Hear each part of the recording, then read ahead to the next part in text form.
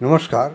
माझ्या power electrical engineer बंधूंनो आणि power workers बंधूंनो तसेच पब्लिक इन जनरल आमचे एक वीज सुरक्षा अभियान सदस्य यांनी कूलरमुळे जे वीज अपघात होतात ते कसे टाळावे या बाबतीत जे मुद्दे लिहिले ते मी आपणास वाचून दाखवत आहे. आणि त्यासोबतच बाकीच्या काही गोष्टी सांगणार आहे. त्यांनी जो पहिला मुद्दा सांगितला की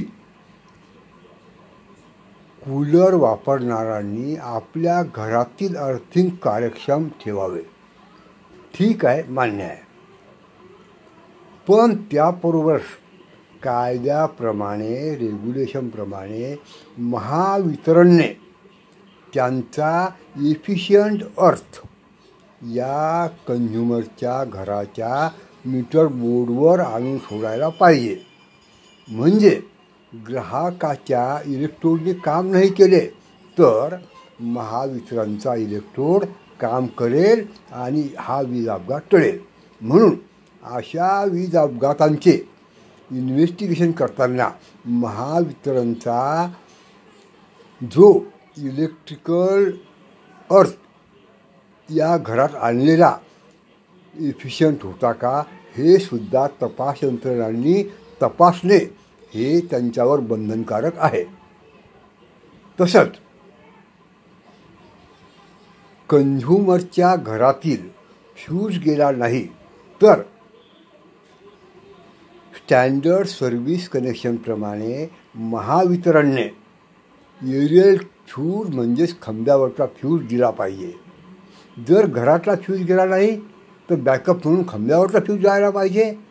तर असे वीज अपघात इन्व्हेस्टिगेट करताना खांब्यावर एरियल फ्यूज दिला का नाही हे सुद्धा तपास यंत्रणांनी तपासायला पाहिजे.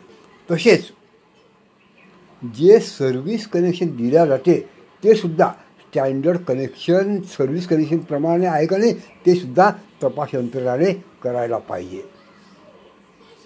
ठीक आहे ग्राहकाची काही जबाबदारी आहे पण ग्राहकाची जबाबदारी पाहतानाच वीज सप्लाय कंपनीची सुद्धा जबाबदारी पाहणं हे तपास यंत्रणेचं काम आहे असं मला वाटतं. आणि तपास यंत्रणांनी कुणालाही झुकतो माप द्यायला नको. ग्राहकालाही नको आणि वीज कंपनीला नको. चांगला व्यवस्थित न्याय करायला पाहिजे.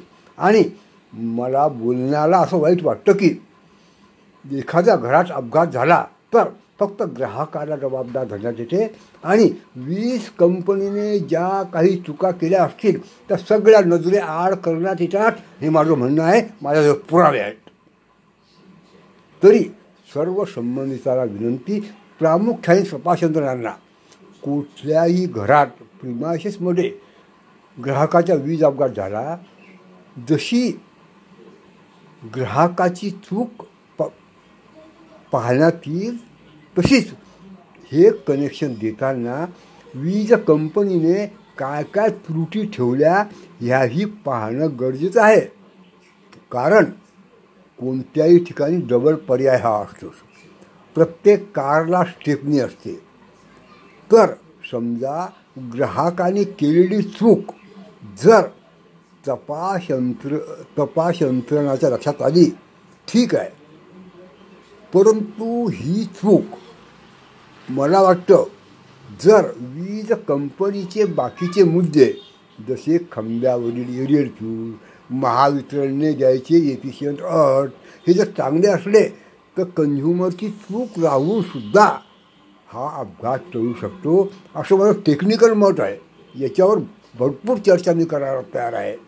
पण नुसतं ग्राहकाला दोषी धरलं तर बाकीच्या सगळ्या गोष्टी कटकटी आपोआप मिटतात आणि मला वाटतं हा सोपा मार्ग तपास यंत्रणांनी पकडू नये. मी त्यांच्याबद्दल हे बोललो त्याबद्दल त्यांना क्षमा करावी. पण आज या विचारधारेमुळे अनेक कुटुंब उद्ध्वस्त होत आहेत. किती केलं तरी वीज ग्राहक हा काही टेक्निकल माणूस नाही पण वीज सप्लाय कंपनी टेक्निकल आहे अगदी तज्ज्ञ इंजिनियर त्यांच्याकडे आहेत तज्ज्ञ कामगार आहेत. म्हणून अशा बाबतीत इन्स्पेक्शन विंगने बॅलन्स व्ह्यू घ्यावा आणि दोघांचंही काम तपासावं ही माझी नम्र विनंती. या बाबतीत मी काही थोडंसं कडक बोललो असेल किंवा काही थोडंसं लागणारं बोललं असेल तर कृपया मला क्षमा करा. पण वाढते वीज अपघात पाहता आज मला हे बोलणं भाग पडत आहे. थँक्यू नमस्कार. Myself Ramdas Khandagale retired chief engineer M S B आणि असे टेक्निकल व्हिडिओ पाहण्याकरता माझं यूट्यूब चॅनल आपण सबस्क्राईब करावं. आता राहिले बाकीचे मुद्दे. कूलर बॉडीला प्रॉपरली कनेक्ट केल्याची खात्री करा. हे बरोबर आहे. हे अर्थिंग सर्किटमध्ये योग्य क्षमतेची एल सी बी लावा. हेही बरोबर आहे. कूलरच्या अंतर्गत असलेली वायरिंग चेक करा. हेही बरोबर आहे. जॉईंट नसावेत हेही बरोबर आहे. पाण्याच्या संपर्कात वायरिंग नसावी. हेही बरोबर आहे.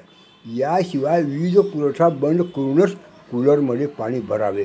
हेही सगळं बरोबर आहे.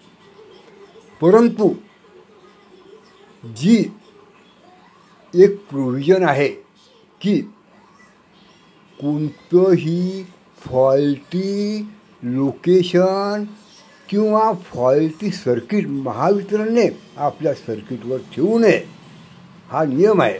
आणि हा नियम पाळण्यासाठी ठराविक वर्षानंतर त्या घराचं वायरिंग सक्षम आहे का नाही योग्य आहे का नाही त्या वायरिंगची मेगर व्हॅल्यू व्यवस्थित आहे का अर्थिंग व्यवस्थित आहे आहे का हे काही ठराविक अंतरानंतर एक तर इन्स्पेक्शन विंगनी तपासावं किंवा महावितरणनी तपासावं पण कोणीतरी च्या दर पाच वर्षांनी हे काम करणं आवश्यक आहे. कायद्यामध्ये मला वाटतं तरतूद आहे आपण तपासून पाहावी.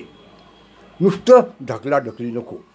मला कोणालाही दोष द्यायचा नाही पण वीज अपघात होतात म्हणून मला मी थोडासा असं बोलतो. थँक्यू नमस्कार. रामदास खंडागळे.